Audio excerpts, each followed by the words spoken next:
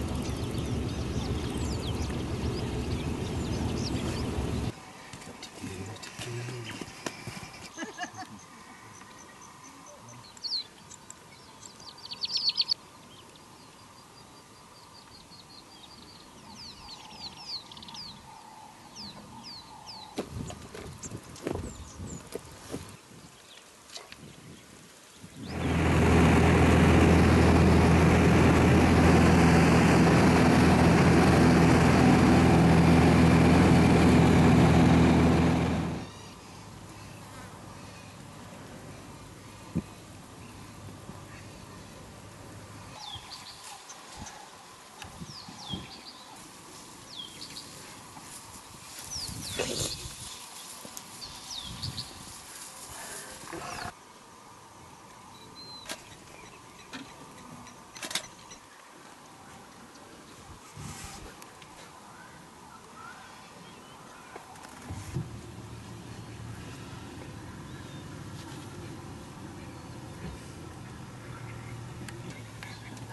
So he was basically sniffing out where the lioness was lying down, picking up some urine samples.